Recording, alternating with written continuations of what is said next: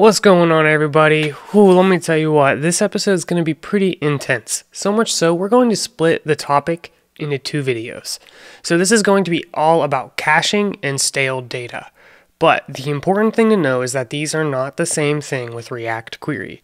We have caching, which is actually what we'll be talking about in the next video, and then we have data that may or may not be stale. That's what we're going to be focusing on in this video. So the whole idea of React Query is that we retrieve data from our backend, and React Query makes it very easy for us to stay in sync with the backend. So if there's some changes in the backend, you know, some data is changed in the database, we want those changes to be propagated to the front end to be seen. But there will be a point in time when the data on the front end is not in sync with the backend. And there's a bunch of different settings we can configure inside of React Query to tell it how we want it to refetch and resync that data. This whole concept is known as stale while revalidate. So stale data will be presented to us initially while React Query goes and gets the new data, refreshing what's shown on the front end. This was the exact behavior with our crypto price. At some point, this price is out of date on the front end and React Query will go make another request to the back end,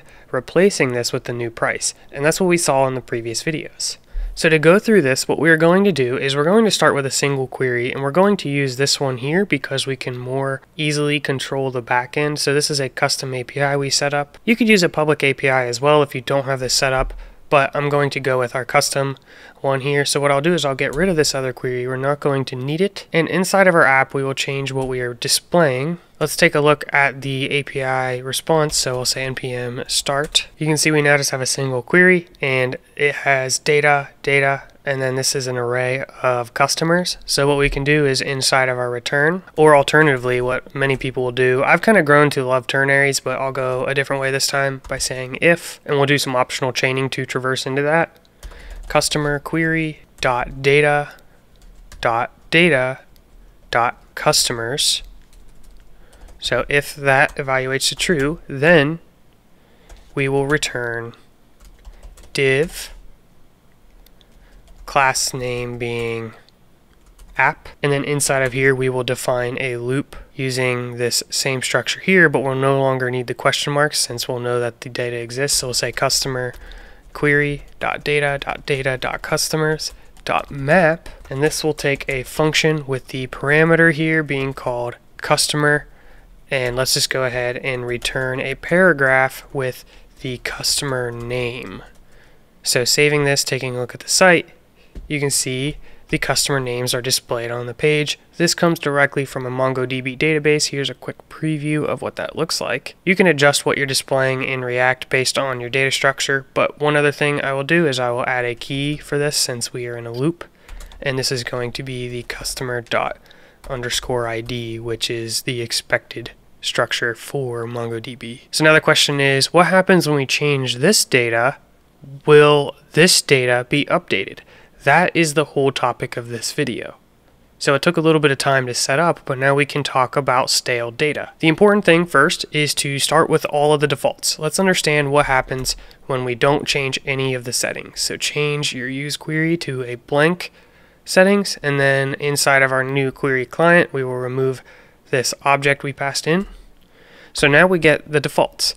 This default behavior is that anytime we click off the page and back on the page, and you can see this better in the network tab, you will see a new request being made to get the most up-to-date customers. Another scenario is if you leave the page, say go to a new tab, and then go back, it will also make that request. Very similar concept. It actually is the same, because clicking on the dev tools is considered the web page losing focus. So the first thing that will cause a refetch is losing focus. That means if this data changes, let's go ahead and change some of this. I'm going to delete some of these junk customers. All right, so I remove that. And as soon as I go back to our page, you can see the new data is displayed. The next thing that will cause a refetch is if you lose connection, which you can simulate by pressing this button here. Anytime we get reconnected, it will make a new request for new data, which is pretty handy because, you know, if you're offline for a while, when you come back online, you're automatically going to have the latest data. Okay, so so far we've talked about two ways that new data is retrieved when the page is focused on and when you reconnect to the network. A third way is on component mount, which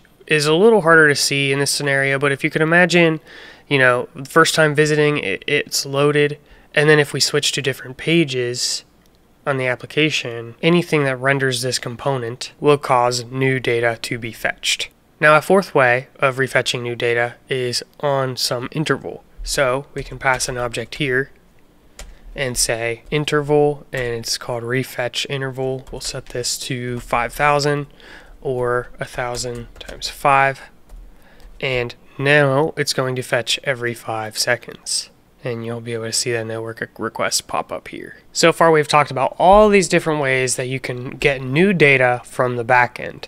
But you might not always want to do that. So you can say, hey, this data is still fresh. You don't need to make additional queries to the backend. The way you do that is with a property on this object called stale time and this is also in milliseconds. So let's go ahead and say 1000 times 10. So 10 seconds. What this will do is prevent the retrieval of any new data for 10 seconds. So let's see this. We will close out of this. We will wait adequate time for this to say stale 1, and then we will refocus on the window. This triggers a new request, and now this is said to be fresh. So it says fresh 1. This will prevent any new network requests until those 10 seconds have passed and it's moved to stale. So to see this in action, let's repeat that process. So we click get it in focus, and now even if I click out of the window and click back in, nothing is happening until it goes to stale again. So now we're limiting our refetching to at least 10 seconds between fetches. Now if you have multiple queries, you can configure these separately. So let's just duplicate this for a second and we'll just call this customer query 2 and we'll just call this customers 2. Let's change this to 20 seconds and we'll take a look. Let's go ahead and restart this. They're currently both fresh. Now one is stale, so when I click, we only get one request. If we wait for them both to go back to stale, a little bit longer, getting, okay, there we go. Now when I focus, you can see both of the requests were made. So pretty much anytime we go into focus, all of the stale queries are going to be refreshed. If you don't want a certain one to do that, you will just disable it. So we could go in here and say refresh on window focus and set this to false. And now only one of those is going to fetch on window focus. So we'll wait for them both to go to stale. And there we go, they're both stale. So now when I click on the window, only one of them is refreshed. So this customer's one is always going to be stale unless we refresh it in another way, such as the different ways we talked about earlier. So if we get disconnected and reconnect, they both go to fresh. So you can configure which of those four refresh triggers you want to be applied to a specific query. And these all are properties on the object here. So you can type in refetch. You can see refetch interval, refetch on mount, which is when the component is loaded, refetch on reconnect, and refetch on window focus. There is a refetch interval in background, which will continue to refetch on an interval if the window is minimized or not being seen. So that would just be a boolean true or false, which you can use at the same time as refetch interval. So that is a summary of the four different refetching techniques you can use. I think we'll be able to check out refetch on mount in more detail in the next video because I'm going to restructure our code to talk about caching. So don't worry about this one too much yet. Other than that, it's important to know that the default stale time is zero. So by default, everything is stale all the time. It's never considered fresh. So any of the refetch behaviors except the interval, which you can see defaults to false. All the others are going to default to true. Refetch on mount is true, refetch on connect defaults to true, and refetch on window focus doesn't actually have a tooltip here. But we've seen that in action because that's the default behavior. Clicking on and off of the page will retrieve new data. So let's go through an example now with refetch interval, which is kind of interesting because this is going to get new data regardless of whether the stale time has been passed. So even if the data is not stale, it will still retrieve new data. So let's say this refetch interval is just a second, the query will never go stale. And we're only going to need one query for this, so let's get rid of that extra one we created just to keep things clean. So taking a look at this, it's going to always be in either fresh or fetching. This is strange to me that you can have it set up for a 10 second stale time with an automatic refetch every second. And I'm not sure the scenario, if any, that you would want to do that. So I think the more appropriate option would be to actually have a longer refetch interval than the stale time. So let's say this one is 10 seconds and this one is a single second. Now, when we take a look at our site, it'll be stale and we can be sure that it will automatically refetch for us even if we don't click on the window every 10 seconds. You can see it went to fresh and then it's back to stale. And taking a look at our network tab, we should see a request every 10 seconds. Using a smaller stale time than the refetch interval could reduce unnecessary requests from other things for a certain period of time if we so wished. So let's increase these numbers just a bit so we can see this in action. Let's say that one is 10,000 milliseconds and this one is 100,000 milliseconds. Now what's going to happen is after 10 seconds, it's going to go to stale. We know if we wait at least 100 seconds, we will get new data. We can get new data earlier than that with some of these other triggers, such as a disconnection, which will bring it back to fresh. But during those 10 seconds, while it's fresh, we can't get new data even if we disconnect. So those are the essentials to understanding the relationship between refetch interval and stale time. Using both at the same time is a little confusing. The important thing to realize if say we were counting up from zero, the time before we reach stale time will not allow any refetching. Once we surpass that stale time, so the time between this number and this number, we will allow refetching from other means, with the ultimate result if no refetching has been made, it will refetch once this timer has been hit. So yeah, make sure you watch that a couple times if that was confusing. What I want to do now is actually remove the stale time just to avoid any confusion between those two values. We will go ahead and maintain the refetch on window focus being false, and this will allow us to see this interval a little bit closer. So let's go ahead and set it to one second here, what we will see is a new request every second. The final attribute I want to talk about in this video is the background fetching. So we are given the ability to say refetch interval in background, and we can set this to true or false. By default, it is in fact false. So when it's false, what this means is that if we go away from this page, such as going back to Visual Studio Code, let me clear this off, you can see it growing pretty quickly, but right now we have like three or four. We go back to Visual Studio Code. Let's say we wait, you know, five or 10 seconds. Can tell you about my day. I mean, I've been cleaning most of the day, shooting some vids, trying to get that AdSense, you know how it goes. Be sure to subscribe. Okay, let's go back. You can see we haven't continue to make requests. And as soon as we go back to the page, it continues. So if we go back and change this to true, like so, now what will happen is if we clear this off and we go back to Visual Studio Code, you know, we're going in here, we're typing for a little bit, and, you know, we fall asleep, leave our application running, uh-oh, we've made all these requests when we're not even focused on the page. Not only we're not focused, but the application's actually in the background.